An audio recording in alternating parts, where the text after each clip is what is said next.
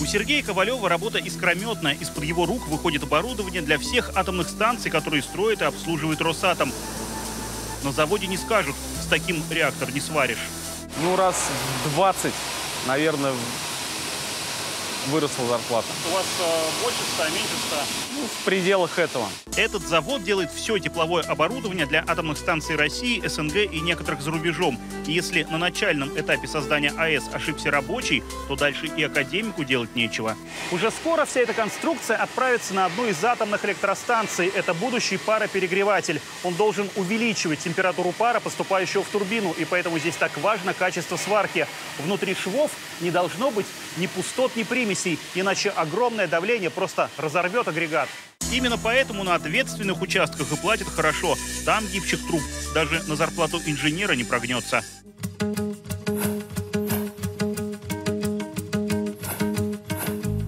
Это в Подмосковье, а если работа в условиях Крайнего Севера, то доход у рабочего больше в разы. Плюс социалка, увеличенный отпуск и раз в год проезд в любую точку страны. У работника составляет 57 рабочих дней отпуск. Отпуск очень большой.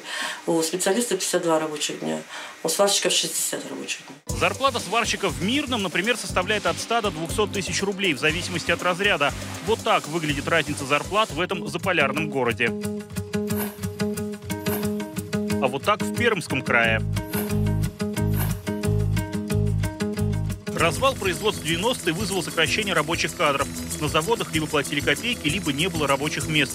Сейчас ситуация обратная. Масштабным стройкам, вроде расширения БАМа, газопроводов и скоростных магистралей, нужны рабочие.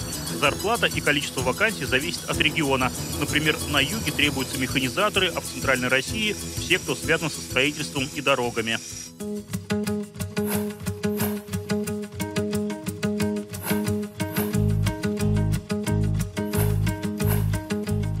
У нас э, 80 тысяч – это э, традиционная зарплата, э, но бывают зарплаты и 100, и 120 тысяч в зависимости от э, уровня квалификации и от профессии.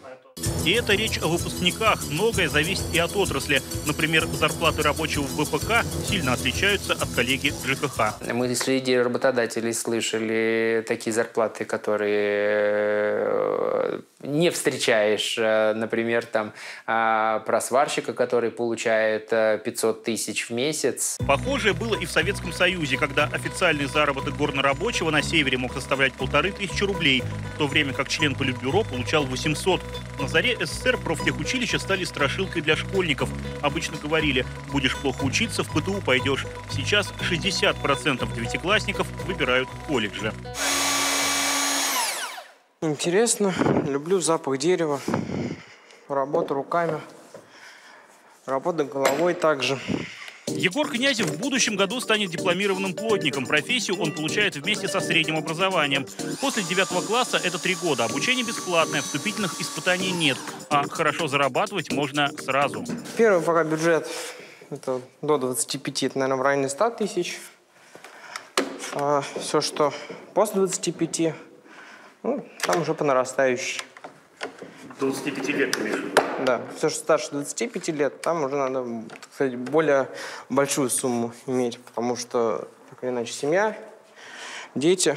К 80 году во всем Союзе было около 7 тысяч ПТУ, и там обучались примерно 3,5 миллиона молодых людей. Сейчас студентов столько же, хоть число училищ и сократилось вдвое. Но нацпроекты требуют даже больше специалистов, чем в СССР, поэтому 99% выпускников средних учебных заведений трудоустроены.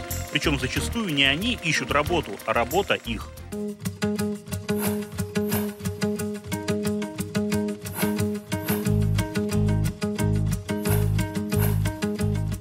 Задача конкретная. За ближайшие пять лет подготовить порядка миллиона специалистов рабочих профессий для электронной промышленности, индустрии робототехники, машиностроения, металлургии, фармацевтики, сельского хозяйства и ОПК, строительства, транспорта, атомной и других отраслей. Быстро подготовить к профи тяжелого труда можно специалитетом. Это когда уже во время учебы отправляют на предприятие. Студент знакомится с его спецификой, а экзамены у него принимают местные мастера. И при устройстве на работу уже никто не скажет. Забудь все, чему тебя учили. Директор завода рассказывал про профессию крановщик, о том, что это э, тоже влюбиться в высоту, влюбиться в небо.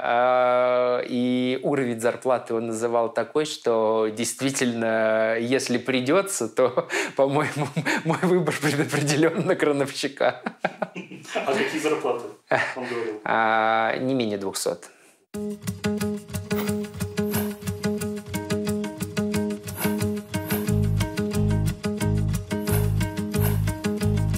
Нередко в рабочие идут и люди с высшим образованием. Повторяется забавная ситуация из СССР, когда выпускники нефтяных вузов при распределении на север прятали дипломы, чтобы устроиться помощниками буровиков и получать втрое больше. Сейчас хитрить не обязательно, достаточно лишь по аттестату поступить в колледж. Большие государственные проекты требуют больше специалистов. История повторяется. Работать руками снова выгодно.